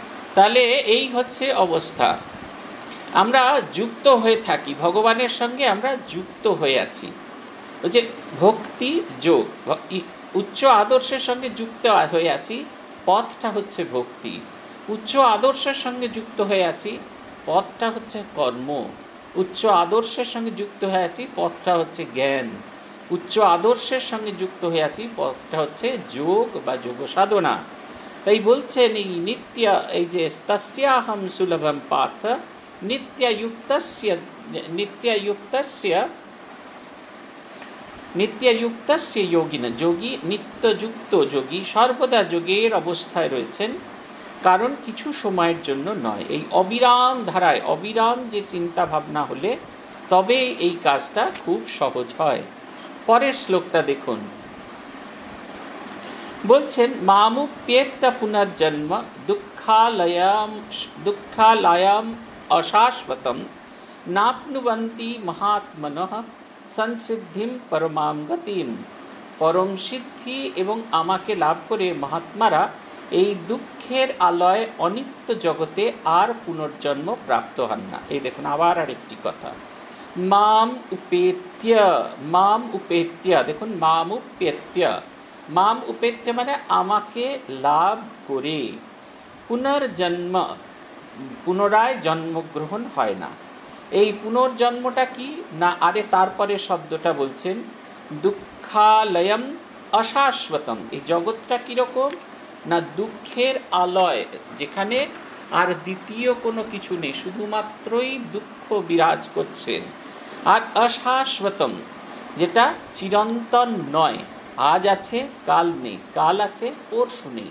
এইটা হচ্ছে, অথচ আমরা, আমাদের দেখুন, এই দুটো জিনিসকে আমরা একসঙ্গে গুলিয়ে ফেলি। আমরা ভাবি একটা অনন্ত জীবন পেয়েছি, অনন্ত জীবনে আমাকে চলতে হবে। এই হচ্ছে কথা, এইটা হচ্ছে মানুষ, মনুষ্য জীবনের আমাদের, এটা আমাদের জীবনের গল্প। পাহাড় প্রমাণ দুঃখের সঙ্গে যেন একটু ছিটে ফোটা আরাম, একটু ছিটে ফোটা সুখ আমরা পাই। আমরা সবসময় মনে করি যেন অনেক সুখ পাচ্ছি, তা কিন্তু নয়। দেখবেন, জীবনের দুঃখটা ছিটে ফোটা, এই সুখটা ছিটে ফোটা। সবটাই দুঃখ। কেন আমাদের এই দুঃখ আসে? আমাদের এই দুঃখ আসে, আমাদের বারবার করে জীবনকে শেখায়, নতুন করে শেখায়। যদি দুঃখ না আসতো, আমরা কখনো কোনো দিন পারফেক্ট হতাম না। দুঃখ হচ্ছে আঘাত। আমার মনে আছে জীবনে একবার খুব দুঃখ এলো। খুব একবারে ডিপ্রেসড হয়ে আছি। কেন এরকম হচ্ছে? আমি তো এরকম করতে চাইনি। কেন এরকম হয়ে আছে? ভারী সুন্দর একটা লেখা পড়লাম। সেইখানে বলা হচ্ছে সোনার অলঙ্কারের সঙ্গে তুলনা করা হচ্ছে। বলা হচ্ছে, যদি তোমার জীবনে খুব ঘাত আসে, প্রতিঘাত আসে, বারবার তুমি যদি আঘাত পেয়ে থাকো, তাহলে সব সময় জানবে যে তুমি সঠিক পথে চলছো। কারণ সময় আমাদের এই জিনিসগুলো শিখিয়ে দেয়। আমাদের সময় আমাদের কতগুলো জিনিস শেখায়। সোনাকে যখন আমরা কিনতে যাই, আমরা কি করি? এই দোকানদারকে বলি, একটুখানি কষ্টি পাথরে ঘষে দাও না। সে আবার পাথরে ঘষতে থাকে, আবার দাম দেবার আগে বলি, ঘষলে দেখি আমার সামনে ঘষে দেখাও। আবার সে আপনার সামনে ঘষে দেখায়। কিন্তু যে মুহূর্তে আপনি দাম দিয়ে দিলেন, আপনার কিন্তু আর কোনো ইয়ে থাকল না। আপনি বললেন যে, এটা আমার সম্পদ। সবাইকে দেখাতে থাকলেন, দেখো দেখো, কি সুন্দর সোনার আংটি কিনেছি। তখন কিন্তু আপনার কখনো কোনো সংশয় হয় না। তাই জীবনে যত আঘাত আসবে, তত আমাদের সেগুলোকে ওয়েলকাম করা উচিত। কারণ এটাকে ঘষে ঘষে ঘষে ঘষে আমার ভেতরেই প্রত্যয় জায়গায় আমি সোনার মতো সম্পদশালী। আমি এই জগতে একটি অত্যন্ত সম্পদশালী জিনিস, এই বোধটা আমার ভেতরে জাগায়। এইটা হচ্ছে মনুষ্য জীবনের প্রকৃতি। আমাদের পাহাড় প্রমাণ, দুঃখের সঙ্গে একটু ছিটে ফোটা আনন্দ আছে। কিন্তু ওই ছিটে ফোটা আনন্দকেই আমরা বেশ মনে করি, বেশ আছি। এই ঘর ছিল না, বেশ একটা টু বিএইচকে ঘর হয়েছে। এই রকম সব নানা কিছু, সব ছোট্ট ছোট্ট প্রাপ্তি। আমরা অনন্ত প্রাপ্তি থেকে লুকিয়ে রাখি। ঠাকুর সেই বলছেন না যে চালের গুদামে কত বড় বড় চাল মানে বস্তা বস্তা চাল রাখা আছে। কিন্তু চালের মালিক কি করেন? একটা কুলোর মধ্যে খানিকটা মুড়ি, মুড়কি, খই, চাল এসব দিয়ে রেখে দেয় আর ইঁদুরগুলো ওইগুলোই খেতে থাকে। তারা জানতেই পারে না, ওইটাকে অতিক্রম করে গেলে ওই চালের গুদামে একবারে অনন্ত চাল আছে। একটা বস্তা কাটলে তার ইঁদুর জীবনটা পুরো চলে যাবে। কিন্তু আমরা কখনো বুঝতে পারি না এই কারণেই এই শব্দটা ব্যবহার করেছেন। দুঃখালয়ম অশাশ্বতম। দুঃখালয়ম মানে হচ্ছে জীবন আনন্দ বর্জিত আপনি দেখবেন কোনো একটি কোনো একটি প্রাপ্তিতেও এটিকে দুঃখালয়ম, এই শব্দটিকে আমরা ব্যবহার করছি। আমাদের আনন্দ আছে, সুখও আছে। কিন্তু এই কষ্টটা আমাদের বেশি। এবং আরেকটি জিনিস শব্দ ব্যবহার করছেন, সেটা হচ্ছে অশাশ্বতম, যেটি শাশ্বত নয়, যেটি চিরন্তন নয়। তাই বলছেন, নাপনুবন্তী মহাত্মনা সংসিদ্ধিম পরমাম গতি। যারা সেই আমাকে প্রাপ্ত হয় যে একবার আমাকে উপলব্ধি করে, তাক সে এই সুখ দুঃখময় অনিশ্চিত সংসার, নাপনুবন্তী মাম উপেত্য, আর সে ফিরে আসে না। পুনর্জন্ম দুঃখালয়ম অশাশ্বতমী অসাপ অসাপ অশাশ্বত এবং দুঃখলয়ে সংসারে আর তাকে ফিরে আসতে হয় না। সে জন্ম মৃত্যুর এই সমস্ত চক্রকে অতিক্রম করে চলে যায়। সে কখনো আর তাকে ফিরে আসতে হয় না। ষোলো নম্বর শ্লোক দেখুন, সেখানে ভারী সুন্দর কথা বলছেন আব্রহ্ম ভুবনান লোকাহা পুনরাবর্তি নো অর্জুন মামুপ্যেত তু কৌন্তেয় পুনর্জন্ম ন বিদ্যতে অর্জুনকে বলছেন হে অর্জুন পৃথিবী থেকে ব্রহ্মার লোক পর্যন্ত সমস্ত লোকই পুনরাবর্তনশীল মানে আবার বারবার আসবে, কিন্তু হে কুন্তিপুত্র, আমাকে লাভ করলে আর পুনর্জন্ম হয় না। ঠাকুরের একটি কথাই এই গোটা শ্লোকের অর্থ আছে। বলছে, বুড়ি ছুঁয়ে ফেললে আর অন্য কিছুকে ছুতে হয় না। বুড়ি ছুঁয়ে পড়লেই খেলা শেষ হয়ে যায়। কিন্তু ওই বুড়ি চায় যে খেলা হতে থাকুক। তাই এই কুমির তোমার জলকে নেমেছি। এই যে আমরা ছোটোবেলা খেলতাম, ওই খেলছি। একবার জলে নামছি, একবার উঠছি, কুমির শুয়ে দিলে আবার হয়ে গেল, বাদ পড়ে গেলুম। তাই বলছেন, কি সুন্দর কথা। শ্রীকৃষ্ণ বলছেন আব্রহ্ম ভুবনা লোকার। এই আর কি বলছেন? পুনরাবর্তিনো অর্জুনা। হে অর্জুন পুনরাবর্তিন, পুনর্জন্মের অধীন, আবর্ত আবর্ত মানে হচ্ছে আমরা এই জন্ম মৃত্যুটা একটা চক্রাকারে চলি। আমরা বিশ্বাস করি জন্ম হচ্ছে, মৃত্যু হচ্ছে, পুনর্জন্ম হচ্ছে, মৃত্যু হচ্ছে, জন্ম হচ্ছে, মৃত্যু হচ্ছে, এই চলতেই থাকে। তাই এটাকে আবর্ত কথাটা বলছেন, পুনরাবর্তিন অর্জুনা। এই যে পুনর্জন্মের যে আবর্ত, এটা সবাই আমরা অধীন। কারা কারা অধীন? দেখুন, আমরা তো অধীনই, আমরা যারা সাধারণ মানুষ, তা আমরা তো অধীনই। এমনকি ব্রহ্মা শুদ্ধ অধীন? আমাদের মনে হয় না ব্রহ্মার ব্রহ্মা আমাদের সৃষ্টিকর্তা। আমরা বলি কিন্তু এটা একটা সামান্য একটা পদ মাত্র। একটা জীবনের পর শেষ হয়ে যায়। তাহলে আমরা জন্ম জন্মান্তরে ব্রহ্মাকে এরকম পুজো করি কেন? কেন জন্ম জন্মান্তরে এ করি? তার কারণ হচ্ছে ব্রহ্মার যে লাইফ স্প্যানটা সেটা অনেক বড়, অনেক বেশি। সেই কারণে আমরা বুঝতে পারি না। এখনও পর্যন্ত এই যে হিস্টোরিয়ানরা কালেক্ট যে ক্যালকুলেশন করে এসেছেন, দেখছেন এখন ব্রহ্মার বয়স হচ্ছে একান্ন। আমি যে কতবার এরকম একান্ন বছর জন্মেছি তার ঠিক নেই, কিন্তু ব্রহ্মাই এক জীবনে একান্নতম বর্ষে এসে পৌঁছেছেন। তারপরে যখন তিনি তার শতবর্ষ পূর্ণ হবে, তখন তার এই ব্রহ্মত্ব চলে যাবে। তখন এই সৃষ্টি ইয়ে সমস্ত কিছু ধ্বংস হয়ে যাবে। আবার এক নতুন পৃথিবী আসবে, যেখানে আবার এক ব্রহ্মার সৃষ্টি করা হবে। এই যে ব্রহ্মাকে সৃষ্টি করা হয়েছে, ভগবান ব্রহ্মারূপে প্রকাশিত হন, তিনি তার নিজেকে প্রকাশ করেন। তিনি তার নিজেকে প্রকাশ করার পদ্ধতিটা হচ্ছে এই। কিন্তু তিনি বলছেন যে এই জগৎ সংসারে যা কিছু দৃশ্যমান, যা কিছু অদৃশ্যমান, প্রত্যেকটিকে পুনরাবর্তনের এই চক্রের মধ্যে পড়তে হবে। কে পড়বে না? তারাই পড়বে না। যারা আমাকে স্পর্শ করেছে। মাম উপেত্ত তু কৌন্তেয়, পুনর্জন্ম না বিদ্যাতে। উপেত্ত শব্দটা ব্যবহার করেছে। আমাকে পেলে মানে ভগবানকে পকেটের মধ্যে ঢুকিয়ে দিলে, একটা গল্প আপনাদের অনেকবার বলেছি, আবারও বলি সেই গল্পটা। রাজা ঢেঁড়া পিটিয়ে দিল, রাজা ঢেঁড়া পিটিয়ে দিয়ে বলল, কালকে সব রাজ্যে রাজ্যবাসীরা আসবে, রাজসভা এসে পৌঁছবে। রাজসভাতে রাজকোষের সমস্ত সম্পদ থরে থরে সাজিয়ে রাখা থাকবে। তোমরা যে কোনো একটিতে যাতে হাত দেবে, সেই সম্পদ তোমাদের নিজেদের হবে। সমস্ত রাজ্যবাসী ভেঙে পড়লেন। তারা সেই রাজসভায় এসছেন, তারা সেই সোনার উপ মণিমুক্তা নিয়ে যাবেন। তারপরে রাজ, রাজদরবার খুলে দিয়েছে, সবাই দেখলেন, রাজা তার সিংহাসনে বসে আছে রাজসভায় একবারে সেই থরে থরে রাজকোষ থেকে নিয়ে সোনা, দানা সব রাখা আছে। সবাই ভাবছে, ছোট ঘটিটা হ্যাঁ না, তাহলে তো ওই ঘটিটাই হবে। তাহলে দেখি বড় ঘটি কোথায় আছে? বড় ঘটি দেখে মনে হচ্ছে, তারা একটা কলসি এরকম ভাবছে, সবাই ভাবছে, কেউ আর কোনো জিনিসে হাত দেয় না। আর একটি ছোট্ট মেয়ে তার বাবার সাথে এসে, তার বাবা ওই সোনা খুঁজে খুঁজে বেড়াচ্ছে। কিন্তু মেয়েটি টুকটুক টুকটুক করে হাঁটতে হাঁটতে হাঁটতে হাঁটতে রাজার কাছে গিয়ে রাজাকে স্পর্শ করলেন সঙ্গে সঙ্গে ঢেড়া বাজতে থাকল এবং ঢেড়া বলতে থাকল যে, আজকে আর এই সম্পদ আর কেউ পাবে না। কারণ এই কন্যাটি হচ্ছে এই সমস্ত সম্পদের অধিকারিণী।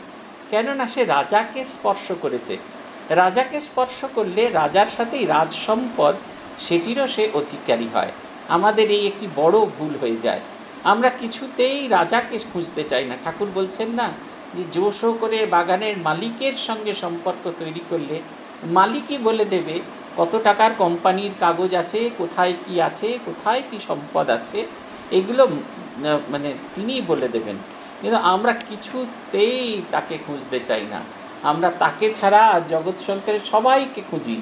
আমাদের এক্স ওয়াই জেড সবাইকে আমরা খুঁজি, কিন্তু আমরা কিছুতেই অন্য কাউকে খুঁজি না। এবং এই খুঁজি না বলেই এই আমাদের এই পুনরাবর্তিত জগতের মধ্যে আমরা ঘুরে বেড়াতে থাকি। আমাদের বারবার এই জন্ম মৃত্যুর চক্রের মধ্যে পড়ে যাই। আসল মানুষটাকে বাদ দিয়ে আমরা নকলটাকে খুঁজে বেড়াচ্ছি। এবার একটা ক্যালকুলেশনের খুব সুন্দর কথা বলছেন সহস্রযুগ পর্যন্তম अहर अहर यद ब्रह्मणो विदुहु রাত্রিম যুগ সহস্রান্তান তেহ রাত্রবিদো জনাহ যারা দিন ও রাত যাঁরা দিন ও রাত্রের পরিমাণ সম্বন্ধে অবগত তারা সহস্র যুগব্যাপী ব্রহ্মার দিন এবং সহস্র যুগব্যাপী তার রাত্রিকেও জানেন এই যে বলছিলাম না যে ব্রহ্মার তার পদটাই টেম্পোরারি আবার নতুন ব্রহ্মা সৃষ্টি হবে। আমরা ভাবি, ভাবছি যে, না, আমরা সব টেম্পোরারি আর ব্রহ্মা টম্মা এরা সব পারমানেন্ট তা নয়। এটাকে আমাকে একটু দেখে দেখে বলতে হবে। বলছেন, সহস্র ইউগ পর্যন্তম, আমাদের এক হাজার যুগ। ব্রহ্মণ অহ, ব্রহ্মার এক দিন আমাদের মানুষের এক হাজার যুগ হচ্ছে ব্রহ্মার একদিন। রাত্রিং যুগ সহস্রা সহস্রান্তাম। আর এক হাজার যুগ হলো আমাদের এক হাজার যুগ হলো ব্রহ্মার এক রাত্রি। তেহ রাত্রবিদো জনাহা যিনি এটি জানেন, তারা দিন ও রাত্রির তত্ত্ববেত্তা। তারা এই দিন রাত্রি সম্পর্কে খুব ভালো করে জানেন। এই শ্লোক আমাদের মনে করিয়ে দেয় আমাদের ভারতীয় যে সংস্কৃতি তার যে বৈজ্ঞানিক যে ভাবনা চিন্তা, সেটি কত উন্নত ছিল। যাকে দেখিনি সেই একেবারে সেই যার কথা শুধুমাত্র কল্পনা করি, যার কথা মাত্র শুধুমাত্র শুনি, তার জীবন কত বড়, কত স্প্যান, সেগুলোর ক্যালকুলেশনও আমরা করে দিতে পারতাম। সেইখানেই এই পড়ছিলাম। এখানে বলা আছে যে এই মুহূর্তে ব্রহ্মার একান্নতম বর্ষ চলছে। তিনিও যখন এই পূর্ণ অবস্থা এরকম শত সহস্র দিন যুগে এক দিন এক রাত অতিক্রম করে শতবর্ষে পরিণত পূর্ণ হবেন, তিনি সেখান থেকে তিনি সেখান থেকেও বেরিয়ে যাবেন। এইটির কথা এই শ্লোকটিতে বলা হচ্ছে। এর পরের শ্লোকটি খুব সুন্দর, সেখানে বলছেন, এটা আমাদের জীবনের কথা, আমার তো প্রত্যেকটা শ্লোকের সাথে খুব স্বামীজির কথা মনে পড়ছে। বলছেন, অব্যক্তাদ ব্যক্তয় সর্ব প্রভবন্ত হরাগমে রাত্র্যাগম্যে প্রলীয়ন্তে তত্রৈবাব্যক্ত সঙ্গকে ব্রহ্মার দিন হলে অব্যক্ত অবস্থা থেকে সকল বস্তু ব্যক্ত হয়। আর তার রাত্রি হলে তারা প্রলীন হয় বা তার মধ্যে মিশে যায়, যার নাম অব্যক্ত। কি সুন্দর কথা বলছেন। অব্যক্তাৎ অব্যক্ত থেকে, ব্যক্ত। প্রকাশিত হওয়াকে মানে অব্যক্ত হচ্ছে, অপ্রকাশিত আর ব্যক্ত হচ্ছে প্রকাশিত। এইটা আমাদের প্রত্যেকের ভেতরে আছে। আমরা বুঝতে পারি। একটা কাঠের কথা ভাবুন। একটা কাঠের তুলনা করা হয়, দেওয়া হয়। কাঠের ভেতরে কিন্তু আগুন নিহিত আছে। আপনারা যারা বৈদিক যাগযজ্ঞ দেখেছেন কিনা জানি না। আমাদের যে রামকৃষ্ণ মিশনের বিভিন্ন যে মন্দির প্রতিষ্ঠা হয় তার আগের দিন বৈদিক যাগযজ্ঞ হয়। আরও বেশি দূর না বেলুর মঠে দুর্গাপুজোর সময় গিয়েই দেখতে পারেন। এই, এখন তো টিভিতেই দেখাবে, দেখবেন ওখানে ওই যে আগুন প্রজ্বলন করা হয়, সে আগুন প্রজ্বলনের পদ্ধতিটা। ওই কাঠে, কাঠ কাঠ দিয়ে কাঠের ভেতরে, আপনারা দেখেছেন কি না জানেন একটা এরকম গোল ছেঁদা মতো করা থাকে, তার ভেতরে ওই যষ্টিখণ্ডটা ঢোকানো হয়। যেরকম করে দুধ আমরা ইয়ে করি ফাটাই, ও তার থেকে মাখন বার করি ওরকম ওরকম করে সেটা মন্থন করা হয়। আর ওইখানে খড়কুটো এই সমস্ত দেওয়া দেওয়া থাকে। যে মুহূর্তে ওই স্পার্কটা জ্বলতে থাকে, সঙ্গে সঙ্গে সেই আগুনটিকে ওখানে নিয়ে তাই থেকে যোগ্য করা হয়। তাহলে ভেবে দেখুন, ওই আগুনের ভেতর, কাঠের ভেতরে কিন্তু আগুন ছিল। যতক্ষণ না পর্যন্ত এটা আপনি জানতে পাচ্ছেন, কাঠের ভেতরে আগুন ছিল, ততক্ষণ পর্যন্ত ওই স্থিতিটাকে আমরা বলছি, অব্যক্ত মানে প্রকাশিত হয়নি। কিন্তু যে মুহূর্তে ওই কাঠকে ঘষে তার ভেতরে আগুনটিকে বার করে নেওয়া হলো, সেই অবস্থাটাকে বলছেন অব্যক্তাদ ঠিক সেই রকম প্রত্যেক মানুষের ভেতরে সেই অনন্ত শক্তি বিরাজ করছেন, শুধু আমাদের প্রকাশ হতে পারছেন না, তাই ভগবান বলছেন অব্যক্তাৎ ব্যক্তয়া সর্বা প্রভবন্তী। সকল মানুষ বা সকল ব্যক্তির মধ্যে এই সময়ে অব্যক্ত থেকে প্রকাশিত হয়েছিল। কখন? কোন সময় আমরা তার মনের ভিতর থেকে বাইরে এলাম? না বলছেন, প্রভবন্ত্য হরাগমে কখন হচ্ছেন অহরাগমে? ব্রহ্মা দিন যখন শুরু হলো, তখন এই জগৎ প্রকাশিত হলো। আবার ব্রহ্মার দিন যখন শেষ হয়ে গেল রাত্রাগ্রম্যে প্রলীয়ন্তে তত্রৈবা ব্যক্ত সঙ্গকে। আবার যখন রাত্রি এসে উপস্থিত, অর্থাৎ ব্রহ্মার রাত্রি এসে উপস্থিত। ব্রহ্মার রাত্রি কখন? না, একটা যুগ। একটা যুগ শুরু হলো, জগৎ শুরু হলো। ব্রহ্মার যেই ব্রহ্মার যেই চোখ খুললেন, সঙ্গে সঙ্গে জগৎ সৃষ্টি হলো।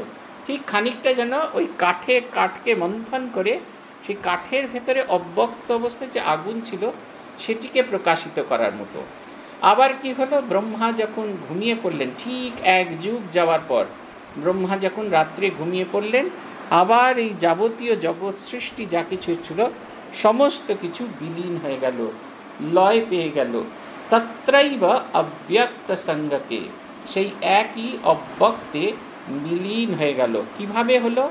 প্রলিয়ন্তে, প্রলয় এসে, সমস্ত কিছু প্রলয় এসে সব কিছুকে নষ্ট করে দিল। এটা হচ্ছে কথা। আমরা শেষ করব যে আরেকটি শ্লোক দিয়ে সেটি হচ্ছে এই ভূতগ্রাম স এবায়ম ভূত্বা ভূত্বা প্রলীয়তে রাত্র্যাগ্রমে হবে অবশঃ পার্থ প্রভবত্যা হরাগমে। কি সুন্দর কথাটা এখানে ভগবান বলছেন। ভূত্বা এই আমরা রানিং মিনিংটা আগে দেখে নিই। হে পার্থ সেই পূর্বোক্ত ভূতসম। কোন পূর্বোক্ত ভূতসম? যারা ব্রহ্মার জাগরণের সঙ্গে সঙ্গে সৃষ্টিপ্রাপ্ত হয়েছিল। আবার তারাই আবার রাত্রিকালে আবার লয় পাচ্ছে। আবার যখন নতুন সৃষ্টি হচ্ছে, তারা আবার বার করছে। আপনাদের মনে আছে কি না জানি না। ঠাকুরের কথা আছে যে, গিন্নি যেরকম সেই ইয়ের তার সেই হাঁড়ির মধ্যে সব নানা রকম জিনিসপত্র, নীল বড়ি টড়ি রাখেন, তার মধ্যে শস্যের এই সব, শশার বীজ এই সমস্ত রাখেন। যাতে আবার যখন নতুন সৃষ্টি হবে ছড়িয়ে দেবেন, দেখুন ঠাকুরের কথা। ঠাকুর কিন্তু শাস্ত্রাদি বিশেষ করেননি আমাদের মতো। কিন্তু তার এই যে ভগবানের অনুভূতি শাস্ত্র যে অনুভবের থেকে দাঁড়িয়ে আছে, তার সবচেয়ে বড় প্রমাণ হলো এইটি তিনি বলছেন যে এই যে লয় যখন প্রাপ্ত হচ্ছে, যারা মারা গিয়েছে, আবার যখন ব্রহ্মা জাগবেন, নতুন যুগ হবে নতুন যুগের সৃষ্টি হবে, তখন আবার এই সমস্ত সৃষ্ট জীব আবার পুনরায় জগতে আসবে। তাই বলছেন ভূত গ্রাম এই যে সৃষ্ট সমগ্র জীব জগৎ, স এবায়ম সেই একই বস্তুগুলি। মানে আগে গত জন্ম আমরা যাইছিলাম আমরা সেই এই জন্মেও তাই থাকব, শুধু চেহারা, রূপটা বদলে যাবে। কেন বদলে যাবে? আমাদের প্রত্যেকে, আমরা প্রত্যেকের কর্মফল অনুযায়ী নতুন রূপ ধারণ করব। তাই আমাদের কর্মটাকে বারবার বলছেন না, আমাকে ছুঁয়ে থাকো, আমাকে ধরে থাকো, আমার মধ্যে ডুবে থাকো। তার মানে আমার ভেতরে কর্ম কোথা থেকে তৈরি হয়? আমার সেই বাসনা থেকে তৈরি হয়। ঈশ্বরকে চাইবার যদি বাসনাই আমাদের হয়, তাহলে আমাদের আর এই এই, আমাদের কোনো কর্মফল তৈরি হয় না। আর সেই কর্মফল থেকে আমরা আবার নতুন জীবন পাই না। তাই বলছেন এই সেই স এবায়ম, সেই একই বস্তুগণ ভূত্বা ভূত্বা প্রলীয়তে, বার বার আবির্ভূত হয়। আবার সেই একই অবস্থা হয়। তারপরে কি বলছেন? রাত্রা গ্রামে অবাসাহ পার্থ। আবার যখন রাত্রি আসে, তখন প্রভাবাত্যা হরাগমে। তারা আবার অসহায় অবস্থায় তারা হারিয়ে যায়। এখানে একটা ছোট্ট শব্দ ব্যবহার করা হয়েছে। দেখুন, দ্বিতীয় লাইনে দ্বিতীয় লাইনে ব্যবহার করেছে রাত্রা গ্রামে অবাসাহা অবাসাহা মানে হচ্ছে মানে যার নিজের কোনো ইচ্ছে নেই। আমরা নিজেরা বুঝতে পারি না। এই যে জন্ম মৃত্যু, আমরা যাই যত বড় বড় কথাই বলি না কেন, জীবনের কাছে যে কখন জন্ম হবে এবং কখন মৃত্যু হবে এটা আমরা জানি না। আমরা একজন অবসের মতো জীবনযাপন করি। গিরিশচন্দ্র ঘোষ তার ওই যে ওই গানটি জুড়াইতে চাই, কোথা জুড়াই? ওইখানে এক জায়গায় লিখছেন, কে খেলায় আমি খেলি বা কেন? জাগিয়ে ঘুমাই কুহকে যেন? কর তমনাশ হও হে প্রকাশ, তব পদে তাই স্মরণ চাই। জুড়াইতে চাই, কোথা জুড়াই? কোথা হতে আসি, কোথা ফিরে যাই? ফিরে ফিরে আসি, কত হাসি কাঁদি? কোথা যাই সদা ভাবি গোতাই জুড়াইতে চাই, কোথা জুড়াই? ওইটা আমরা বুঝতে পারি না, কে খেলায় আমি খেলি বা কেমনে। এইটা হচ্ছে অবশ অবস্থা। আমাদের হাতের মধ্যে নেই। আমরা খেলছি, অথচ গোটা জিনিসটা আমাদের হাতের মধ্যে এতটুকু নেই। আমরা বুঝতেও পারি না কীরকমভাবে এই যে খেলা হচ্ছে। আমরা তাই অসহায় অবস্থায় থাকি। আমাদের হাতে কোনটা আছে? আমাদের হাতে ওইটা আছে। ঈশ্বরের ঈশ্বরকে চাওয়া। এটা আমাদের হাতে আছে। আর আমাদের হাতে কি আছে? আর আছে হচ্ছে, প্রতি মুহূর্তে ঈশ্বরের সঙ্গে লীন হয়ে যাওয়া বাসনা শূন্য হওয়া, এগুলো আমার হাতে আছে। কিন্তু আমার জীবন কখন শেষ হয়ে যাবে? আমার জীবন কোন মোড়ে এসে থেমে যাবে? এইটা আমরা জানি না। এই কারণে আমরা অবশ। আমার এক বন্ধু গত বছর সেদিন মজা করে আমাকে ফোন করে বলছিল বুঝলেন তো? আজকে আমার অজ্ঞান হয়ে যাওয়ার বর্ষপূর্তি হচ্ছে। সত্যি সেটা খুব ভয়ঙ্কর দিন ছিল। করোনায় আক্রান্ত হয়ে একদম অজ্ঞান হয়ে চলে গেলেন। লাইফ সাপোর্টে থাকলেন সাঁত্রিশ দিন। প্রত্যেক দিন রাত্রে শুতে যাওয়ার আগে আমি ভাবতাম, কাল বোধহয় খবরটা আসবে, সে চলে গেছে। এরকম করে একদিন, দুদিন তিন দিন চার দিন করে সাঁত্রিশ দিন অতিক্রান্ত হলেন। তারপর একদিন খবরের কাগজে দেখলাম খুব বড় করে তার ছবি বেরিয়েছে যে তিনি সাঁত্রিশ দিন ধরে লড়ে বাড়ি ফিরে আসছেন। চেহারাটাই চিনতে পারিনি। এইরকম আশুতোষ মুখোপাধ্যায়ের মুখ কেটে কুটে তছনছ হয়ে গেছে। তারপরে যখন একদিন প্রথম ভিডিও কলে তাকে দেখলাম, উনি ভিডিও কল করেছিলেন তাকে দেখলাম, তখন মনে হলো কি অদ্ভুত। যাকে মৃত ভেবে রাখছিলাম, তার ইয়েতে এরকম। অথচ বহু মানুষ যার খুব সাধারণ করোনা হয়েছিল, তাদেরকে চলে যেতে দেখেছি। আমরা কখনো বলতে পারি না, সেই কারণে আমরা খুব অসহায়। আমাদের সেবা প্রতিষ্ঠানের যিনি ডাক্তারবাবু আছেন, তিনি আমাদের বলছিলেন যে চোদ্দোই এপ্রিল থেকে পনেরোই মে অবধি প্রত্যেক দিন গড়ে চারজন করে মারা যাচ্ছে। আবার তাদের মধ্যে চারজন তো বটেই, চারজন মারা যাচ্ছে কোনো দিন পাঁচজন ছজনও তাদের মধ্যে কেউ কেউ আবার এই আঠারো থেকে বত্রিশ বছর বয়সী। বলছেন, মারা গেছে, প্লাস্টিক দিয়ে সব প্যাকিং করে রেখে দিয়েছে। কিন্তু ডেড বডি ক্রিমেশনের সময় পাওয়া গেছে রাত্রি নটা। জীবিত মানুষ শুয়ে আছে, মৃত্যুর সঙ্গে লড়ছে। আর তার পাশের বেডেই ডেড বডি রাখা আছে। মর্চুয়ারিতে নিয়ে যাওয়া যাবে না। কারণ এই ছড়িয়ে পড়বে সেখানে, যারা নিয়ে যাবে তাদেরও ছড়িয়ে পড়বে। তাই ওইখানে ওইভাবে পড়ে আছে। বলছেন যে মৃত্যু যে কি ভয়ানক জিনিস, তা চোখের সামনে দেখলাম। ভূতেশ আনন্দজিকে তার স্মৃতি বলতে দেখেছি। বার্মা ওয়ার, যখন তিনি সেই বার্মা রিলিফ করেছিলেন, বার্মার তীরে। ওপাশ থেকে মানুষজন আসছে পাশে ভারতবর্ষে। বলছেন, এক নৌকা ভর্তি মানুষ এসেছেন। যখন নামাতে যাওয়া হলো, তখন দশ বারো জন জীবন্ত নামলেন আর বাকিরা সব ওই নৌকার মধ্যেই মারা গেছে। তারপর তাদের তুলে নিয়ে এসে গণদাহ করা হচ্ছে। একটি অল্প বয়সী মেয়ে এসেছেন ভূতেশানন্দজির কাছে। পা দুটো জড়িয়ে ধরে কাঁদছেন, বলছেন, আমার স্বামীটিকে আলাদা করে দাহ করা হোক। মহারাজ বলতেন, মাঝে মাঝে মনে হতো পাগল হয়ে যাব কিনা? এই হচ্ছে অবশ শব্দটার অর্থ। আমরা এত দেখি তবু আমরা এই অবশ শব্দটাতেই অবশের হাতের মুঠোর মধ্যে থাকি। অথচ এই অবশ থেকে মুক্তির যে উপায় আছে, যেটা আমাদের হাতের মধ্যে আছে, সেটাকে নিয়ে আমরা কখনো ভাবি না। আর ভাবি না বলেই এই চিরদিন এই অবশ শব্দের ভেতরে তিনি আমাদের খেলান, কে খেলায় আমি খেলি বা কেন? জাগিয়ে ঘুমাই কুহকে জানো? আমরা যেন তার সঙ্গে খেলাতে খেলতে থাকি। এবং খেলতে খেলতে আমি সেই তার খেলার সঙ্গী হয়ে যাই। এবং তিনি আমাকে নিয়ে খেলান, এক যুগ অবধি খেলান, তারপরে প্রলয় করেন, সব শেষ করে দিয়ে আবার এক নতুন যুগে, নতুন রূপে আমরা আবির্ভূত হই। গোপালের মায়ের সেই সুন্দর কথাটা যেখানে গোপালের মা ঠাকুরকে খাওয়াচ্ছেন, বলছেন, বাবা, তুমি আমার কাছে, আমার হাতে খাবে? বলছে, কেন? তুমি আমাকে খাইয়েছো তো আগে। গোপালের মা বলছে, আমি কবে খাওয়ালাম? ঠাকুর বলছেন, কেন? সেই যুগান্তরে খাইয়েছ, আগের আগের জন্মে খাইয়েছ? জানে না সে। এই আগের আগের জন্মে কত কি করেছি? কিন্তু এই জন্মে যেখানে আছি, আমাদের অতিক্রম করতে হবে। আমরা অবশ, আমরা জানি না মৃত্যু কখন আসবে। আমাদের হাতের মধ্যে ওই কথাটি আছে। ওই যে ভগবান বলছেন না, ইয় স্মরতি নিত্যস যে আমাকে নিত্য স্মরণ করে। ওইটি আমাদের হাতের ভেতরে আছে। আমাদের হাতের যে শক্তি অস্ত্রটা আছে ওইটিকে আমাদের প্রয়োগ করতে হবে। এবং ওটাকে যত আমরা প্রয়োগ করতে পারব, তত আমরা জন্ম মৃত্যুর পারে যাব। ব্রহ্মা ইম্পারমানেন্ট থাকুন, কিন্তু আমাদের লোকটা হবে পারমানেন্ট আমরা ভগবানের সঙ্গে একটা পারমানেন্ট রিলেশন তৈরি করতে পারব। আমরা আজকে এইখানে থামছি, আর আমরা ওই যেরকম রোজ চ্যান্টিং করি, সেরকম চ্যান্টিং করতে থাকব। আমরা শুরু করব পাঁচ নম্বর শ্লোক থেকে দুবার দুবার করে প্রত্যেক শ্লোক পড়ব অন্তকালে চমামেবা স্মরণ মুক্তা কলেবরম यः प्रयाति समद्भावं याति नास्तत्र संशय अन्तकाले च मामेव स्मरन् मुक्त्वा कलेवरं यः प्रयाति समद्भावं याति नास्तत्र संशयः। यं यं वापि स्मरन् भावं तजत्यन्ते कलेवरं। तं तमेवैति कौन्तेय सदा तद्भावभावितः।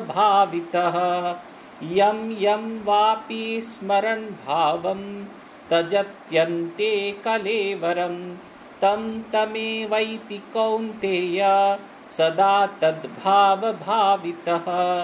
तस्मात् सर्वेषु कालेषु मामनुस्मरयुध्य च मय्यर्पितो मनो बुद्धेर्मामे वैश्यस्य संशयम्। तस्मात् सर्वेषु कालेषु मामनुस्मरयुध्य च बुद्धिर्मामे वैश्यस्य संशयम् अभ्यासयोगयुक्तेन चेतसा नान्यगामिना परमं पुरुषं दिव्यं याति पार्थानुचिन्तयम्।